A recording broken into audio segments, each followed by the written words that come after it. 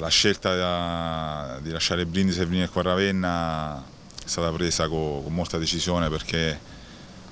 mi hanno fatto sentire subito un giocatore importante, quindi ho sposato il progetto del presidente, del direttore sportivo e dell'allenatore Mazzon che mi teneva sempre aggiornato, quindi sono, sono contento di, di, ripeto, di, essere qui e non vedo l'ora di, di cominciare per iniziare a lavorare e fare un buonissimo campionato qua a Ravenna. Sappiamo tutti che sarà un campionato difficile perché tutti si stanno attrezzando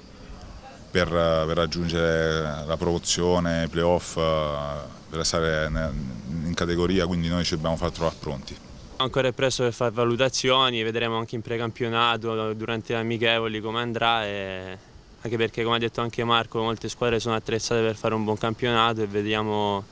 vediamo sin dalle prime amichevoli a che punto saremo e, e, poi faremo delle valutazioni. Ho sempre avuto il numero 9, solo che